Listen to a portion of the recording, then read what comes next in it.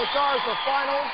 Now, last week, our next star got off to a disastrous start with a low-scoring tango that left him alone at the bottom of the judges' leaderboard for the first time. It was your votes that gave him this place in the finals.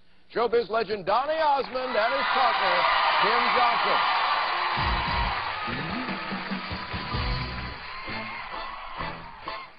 I've been performing 46 years now, and when I did the Foxtrot, I just drew on that 46 years of experience, and I performed it. You did.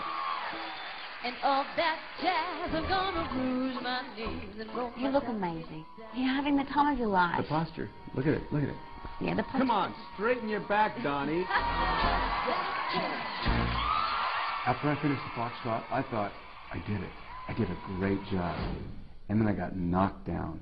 too theatrical, too much razzmatazz. Okay. A little bit more ballroom. Okay. I knew I could sell the dance and the audience would like it, but the judges reminded me this is a dance competition. The technique and posture was going to be my biggest challenge.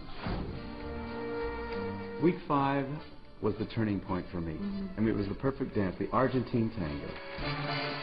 My favorite moment right there. See where Uh-huh. my legs go between you right there? It was. I, I liked that naughty move too, where you put your hand on my leg. Right, right, right, right there, right there. That's called you can sleep on the couch move. I know that got you in trouble. Oh, big trouble. I'm still But sleeping on the couch for that one.